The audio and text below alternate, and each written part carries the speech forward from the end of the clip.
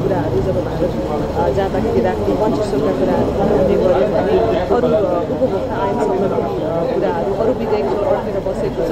त्यसलाई चाहिँ छिटोभन्दा छिटो चाहिँ व्यवसायिक ढङ्गमा चाहिँ अगाडि बढाउनुपर्छ एउटा भन्ने कुराहरू पनि हामीले प्रधानमन्त्रीज्यूलाई चाहिँ जाहेर गरेका छन् र उहाँले पनि अब अबको जुन एउटा राम्रो परिसूचक जुन आइरहेको छ त्यो सँगसँगै चाहिँ आर्थिक वृद्धि दरमा र निजी क्षेत्रलाई चाहिँ समेटेर समर्पित रूपमा अगाडि बढ्ने चाहिँ धारणा निर्माणका समस्याहरूलाई समाधान गर्नको लागि अहिले तपाईँको त यो स्वदेशी निर्माण कम्पनीहरूले कामै गर्न सकेनन्।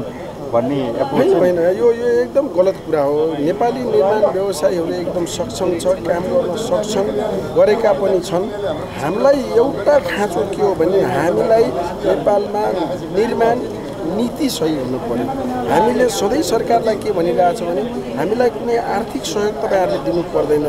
नेपालको निर्माण व्यवसाय ऐन सार्वजनिक खरिद ऐन नेपालको एउटा माटो सुहाउँदो एउटा भौगोलिक नेपालको चाहिँ परिस्थिति अनुसार चाहिँ हामीले बनाउन सकियो भने निश्चित रूपमा नेपालको निर्माण व्यवसाय एकदम सक्षम छन्।